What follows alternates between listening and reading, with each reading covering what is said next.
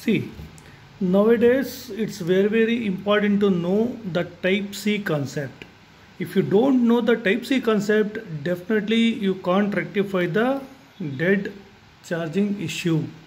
Okay, so it's very very important to identify the components from type C. What are the active components will be there and what are their IC's work? I mean their works. The particular IC works. From where to where the signal or voltage or path has gone that we need to identify. Okay? So see in last class i clearly told you it has type c two type c.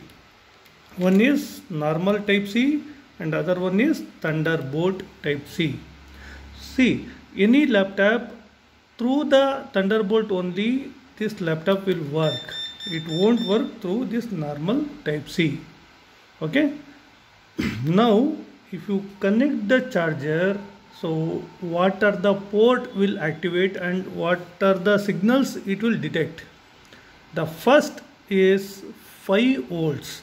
Any type c you will get 5 volt signal is the first one. That we call it as it's a v bus. Okay? V bus should have 5 volts next what are the signals? What are those? I already explained so many times. That is tx and rx v bus cc1 cc2 and d plus and d minus. These all are the important signals in thunderbolt type c. Okay? What are those? Once again i'll repeat v bus is the first signal. You will get 5 volts from that. After that cc1 or cc2 or tx and rx 1 tx and rx2 any one. After that d1 d plus d1 plus and d1 minus or d2 plus or d2 minus. These are all the important things. See the first v bus v bus directly come to this ic what is this ic this is pdic okay? After this pdic next what are the signals and where it will go? Next the d plus and d minus. It will come to this particular IC see U5803 it's a small one. Here it will come. Okay and C. What is that CC1 or CC2 where it will go? It will go to see the CC1 it will come to this one this IC U5801 okay? In this IC it will come as the input CC1 connection and the bidirectionally it will connect with the TBT CC1 okay TBT CC1 connection from this IC CC1 and CC2 is connected to this particular IC see what are those? Already V bus I told V bus directly goes to that PDIC and second one is CC1 and CC2 it one it will uh, check the connection. It's a channel 1 I mean upper side or no down side. Which one has connected? That uh, will take care of this IC okay next TX and RX TX and RX this main alpine IC will take care. Okay note down transmitter and receivers those so TX1 plus and uh, TX minus. RX1 and RX2 that plus and minus. Those things transmitter and receivers will happen through this particular IC okay and the D1 and D2 plus and minus will happen through this particular IC okay? Now you identify the signals which is coming from this type C where it will go. Okay? And what are the different type size of this particular PD that also I clearly explained. Now after these functions what we have to check see after this function CC has to work right? Channel 1 or channel 2 CC1 or CC2 which one is activated? Which one is connected? That we need to check. For that which IC we have to check? Here this IC right?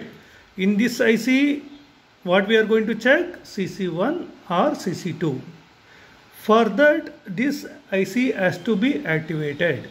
Then only the particular motherboard will check CC1 or CC2 as connected. For that the voltage the basic IC input voltage is required. The particular basic voltage from where it has come that we need to check. See this particular input IC I mean input voltage is coming from this particular PDIC this particular PDIC now you got my point right once you connect the type C 5 volts V bus 5 volts will come to this particular PD and from this IC high voltage has to be generated internally and so many LDO voltages will generate internally. This LDO voltage come to this particular MOSFET gate right. I already explained this particular MOSFET gate the voltage is coming from this particular PD. If this particular PD releases the voltage, then this particular MOSFETs will get active and then what? That CC 1 or CC2, this IC will get active. Okay? Now the concept you understood, right? So what are the ICs will generate? and what are the voltage will generate. Hmm? See, once PDIC is good, once PDIC is good, then this section will work because the gate is depending on this one. Okay, and CC connection that IC will work. Okay, and so many sections will work through this PDIC. This is very very important. Through this 3 volts PDIC, almost all section will generate. And now for TX and RX, see this section has to work, right? The TX and RX here is a crystal. If crystal is works, then I clearly told you, ah, one more thing I wanted to tell you that 3 volts PD will come to this particular bias IC also. This is bias IC for this PD section. Okay. This one will active when the 3 volts will come from the PD IC. Okay. Next, I will come to this point. When this bias is active, then here I2C section will get active. It has two I2C uh, section and one bias section. Okay? Total three bias options are there. Two I2C and one is bias section. If these all works good so then definitely your laptop will works good without any problem if in case of type C section has issue. Okay? Now you got my point right so these things you should not forget. If you know this concept then only you are able to do the repair work of type C section. Okay? Type C section because you have to total 5 part I divided as a 5 part in type C theory, theory videos right? So if you don't know please go back and check those videos. This one I2C Alpine IC it's a transmit and receive signal depending on that I2C will work and bias also will work once this will works, definitely your motherboard supply will come. Otherwise, you won't get any supply. You will get only 5 volt supply. V bus is the standard voltage you will get. Okay, this, this is the concept. Okay, now I will tell you what are the damages or what are the uh, main part, I mean main fault is there in this particular motherboard. First thing is when I observed here I told you clearly so much of work has done in this section. See they connected type C here and here it has to connect. Here one IC will come but it has removed I think so. See UA this one. Here they made it as a short. Because of that short this IC was getting completely heat. Completely heat. Okay now I remove that section. When I connect this so that heat has gone. Now there is no heat. This section completely has short so that's why I disconnected this type C. Now this type C won't work. It will work but the voltage the V bus will come up to here it won't go forward. Okay?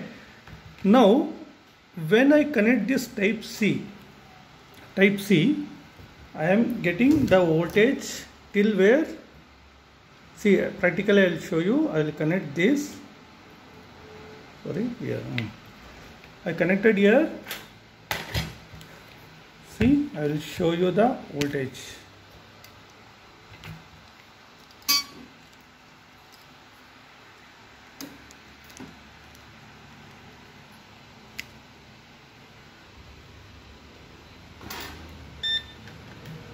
I told you clearly if you connect the thunderbolt the particular ICs this pin number 11 and 12 I think so. There the voltage will come. See this is pin number 11 and 12 what the voltage? 5 volts right? Here we are getting only 5 volt section. This IC is not getting heat because of this type C had uh, short that I removed which I removed so now there is no heat. Second concept is this IC has produced 3 volts LDO so that I will check. This particular MOSFET gate will be having 3 volts. But just a minute. But we are getting 4 volts. Actually this is not this particular IC voltage. Okay? The first thing is that one so once we get this 3 volt section I will check in this part I think. So here is the 3 volt section. No. No. Number 5 no. See this particular PD is not generating 3 volts because of this particular sections are not active that is the one point okay? So many people what they will do they will shut the MOSFET and they will check. See first I, I told you first the IC I mean for this MOSFET the voltage will come through this fuse. See it's 5 volts. After this fuse also 5 volts okay? Here is the drain p channel MOSFET drain 5 volts. After this source you will get lesser than this volt it's a 4.6 some voltage will drop due to the due to the forward bias. And here this second MOSFET no output. When until unless you get the gate voltage you won't get the result. Okay 3.7 or 4 volts you are getting. Hmm? This is actually this dropped voltage, not voltage from PD. Okay, now you understood the concept. Here PD may be the fault or may not be because so many damages are there, multiple damages. This is one major things I found and one more thing I found for transmit and receive the here actually ID will be there right. So to produce high voltages through this particular PDIC, there should be transmit and receive functions. But in this particular IC, this Alpine IC, having a crystal, okay, but the crystal condition is completely damaged. This also could be a reason. Okay, we need to replace this crystal and I need to check I will check this one after replacing it will be working or not that I don't know but first I will replace the PD after PD 100% it won't work because of this crystal. Until unless we change this crystal this bias section won't work. Okay? You may get CC1 CC2 or whatever it may be. But tx and rx it won't get. You won't get because of this crystal. See some capacitor has removed i think so. See directly forcefully they removed not softly. See hmm? so marks are there here. But anyway so let me check after replacing the pd what the condition of this crystal? If there is no result then i will replace this crystal and let me check. If this IC is good definitely this motherboard will work. If this IC is not good definitely this will be in dead condition or we need to bypass this section see first you have to understand the type C concept. Then you can go for bypassing the type C. In this worst condition we will go for bypassing the type C. So this is the uh, what is that theoretical explanation of this particular motherboard. Okay? Even practically also I showed you what are the voltage we are getting. So let me check that after changing this PD what will be the result? So please wait for the result. Once I get the result definitely I'll make a video and I will show you people. In case it, it uh, not uh, I mean this things is not happened so then I will bypass this and that also I will show you. Okay? Thank you. Thank you very much